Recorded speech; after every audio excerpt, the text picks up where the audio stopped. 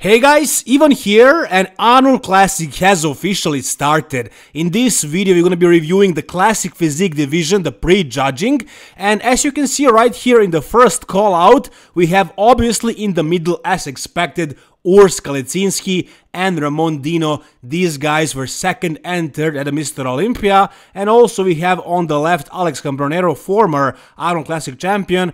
And on the right you have Mike Sommerfeld, he was fifth at the Mr. Olympia. Now, honestly guys, I was completely wrong about Urs Kalecinski. In my previous video, I thought he looked much smaller. I thought he looked burnt out. I thought he prepped for way too many times in a row, and I thought this this Arnold Classic is not gonna be a very good edition of him. I thought Ramon Dino is gonna destroy this show and win it easily, and I wasn't sure if Urs is gonna be even second.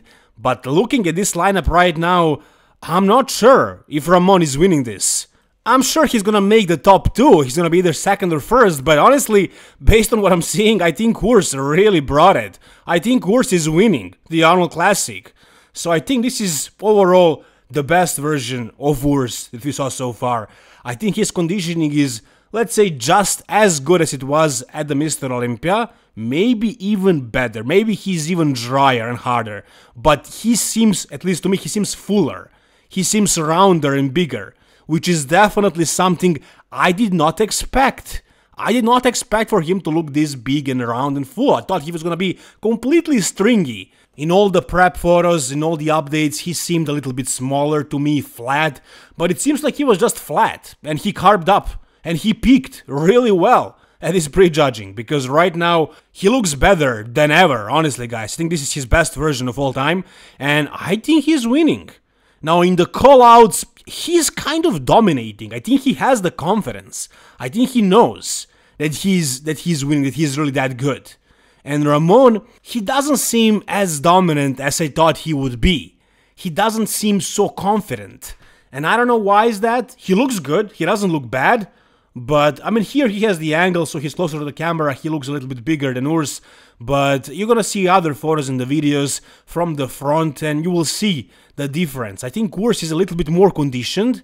You can definitely see it in the glutes. The separation, the cuts are deeper, and and surprisingly, in the back poses, Urs looks better to me. Now here, I wouldn't say so maybe, but you're gonna see other photos and videos as well. You're gonna see the difference when the photos and the videos aren't taken from an angle. And here is one pose that I think Urs is winning. I think this abs and thighs pose really looks good on him. The abs are looking great, the quads are looking amazing, and the vacuum as well. And look at it here. Now this is a little bit better angle. I mean, just look at Urs standing there in the front relaxed.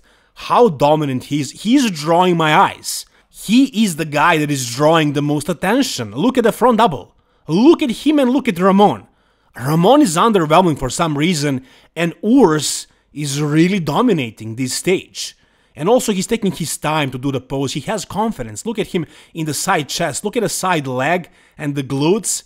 Maybe he doesn't have the best arms, not as good as Ramon, but I don't know, man. The way he's hitting these poses, he looks good. He really brought it. And Ramon brought it too. Ramon is shredded as hell. But even in the back double, I mean, just look at Urs's back and his glutes.